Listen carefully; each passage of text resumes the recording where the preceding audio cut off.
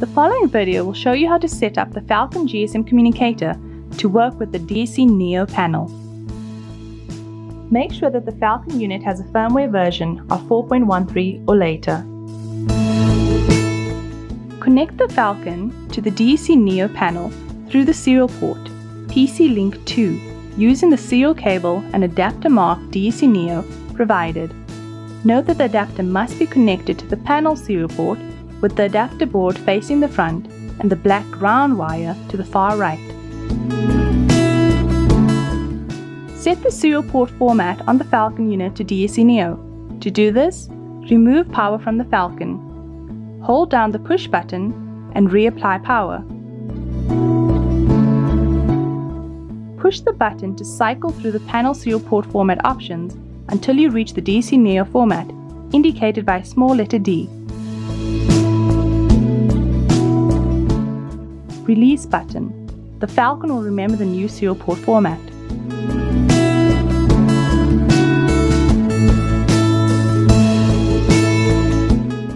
Press the asterisk key and 8 and then enter the installer code, the default being 5555, into the keypad to go to the programming menu.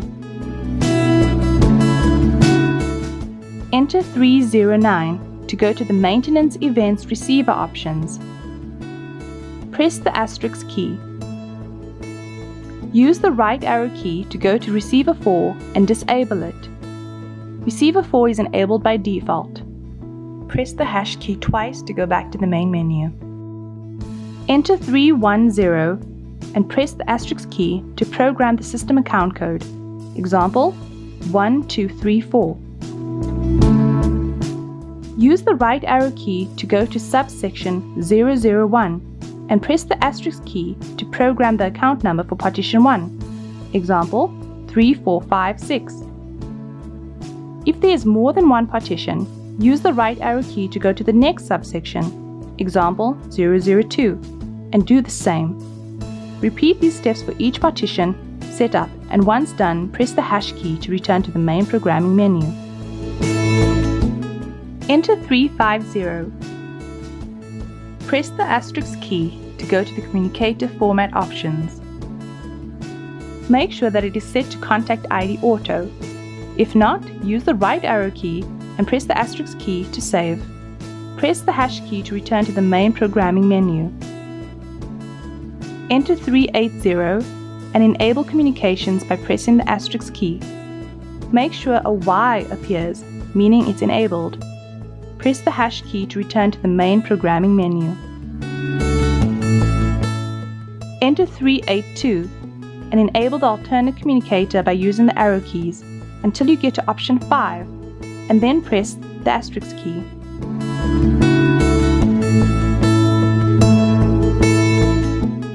Make sure Y appears, meaning it's enabled. Press the hash key twice to go out of programming mode. Settings are programmed. Reset the whole system by switching off power, AC and battery, and switching it on again for the settings to take effect. To connect the panel to the MyFalcon app, go to your phone's App Store. Search for My Falcon and tap Install.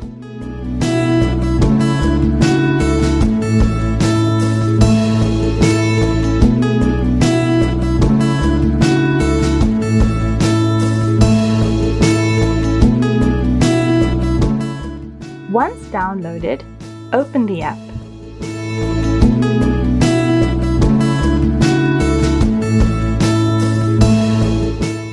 Scroll through the welcome screens by tapping the arrow and select Get Started. Tap Sign Up and enter your personal details to create an account.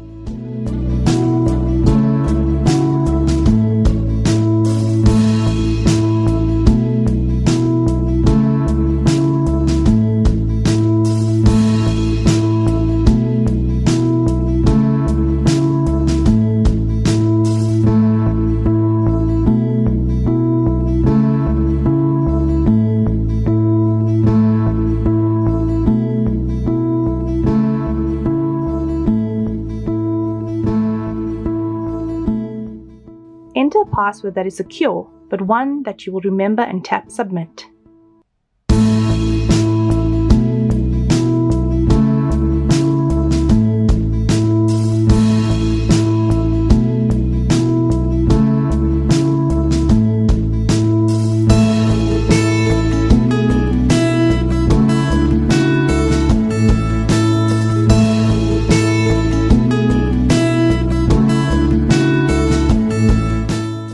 Log in with these new details.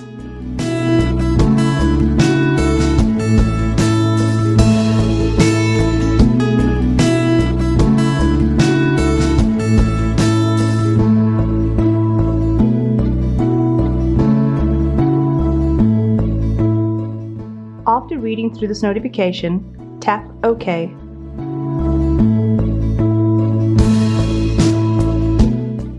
Tap Add Panel. Once you've completed all the steps on the screen, tap Continue. Tap on Scan QR Code and scan the QR code found on the sticker at the back of the Falcon. Tap Confirm.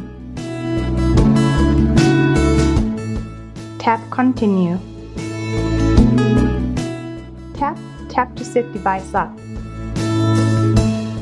Enter your user code. This is the code you use to arm and disarm your panel on the keypad.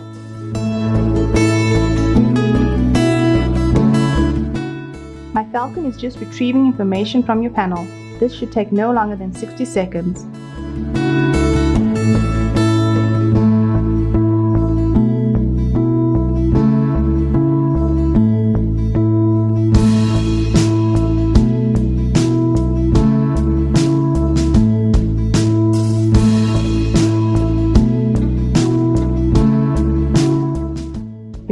Partition screen where you can perform various actions on your alarm system. To test the app, arm and disarm the panel. Note that if the Quick Arm feature is enabled in the programming settings of DSC panels, the app can arm the panel even with the wrong pin code, but you cannot disarm it. If the Quick Arm feature is disabled, you will manage to arm and disarm the panel only when using the correct user code.